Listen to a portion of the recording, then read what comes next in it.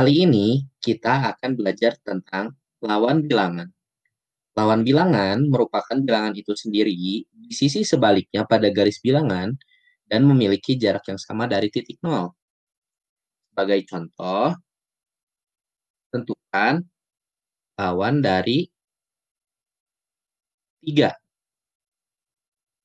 Pertama, pada sebuah garis bilangan, kita tulis bilangan-bilangannya. Makin kanan,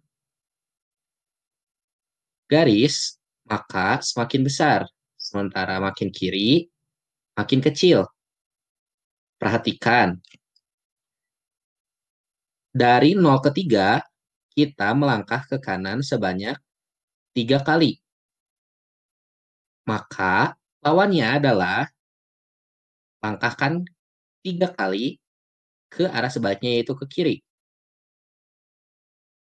Diperoleh lawannya adalah negatif 3. Selanjutnya, tentukan lawan dari negatif 2. Maka kita di garis bilangan, tulis bilangan-bilangannya.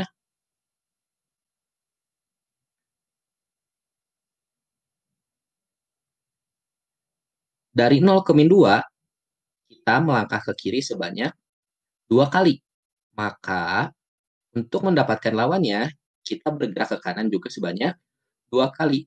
Diperoleh hasilnya lawan dari negatif 2 adalah 2.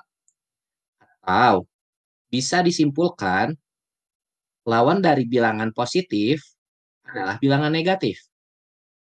Dan lawan dari bilangan negatif adalah bilangan positif. Selanjutnya, kita akan mengerjakan soal-soal berikut ini.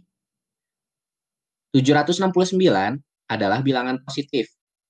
Maka lawannya adalah negatif 769.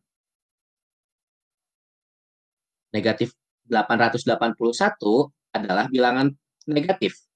Maka lawannya adalah bilangan positif, yaitu 881. Negatif 965 adalah bilangan negatif lawannya adalah bilangan positif yaitu 965. 1140 adalah bilangan positif. Maka lawannya adalah bilangan negatif yaitu 1000 negatif 1140. 1754 juga bilangan positif, maka lawannya adalah bilangan negatif yaitu negatif 1754. 3902 juga bilangan positif, maka lawannya bilangan negatif 3.902. 8.248 juga positif, maka lawannya juga bilangan negatif yaitu negatif 8.248. Dan negatif 11.526 lawannya adalah bilangan positif yaitu 11.526.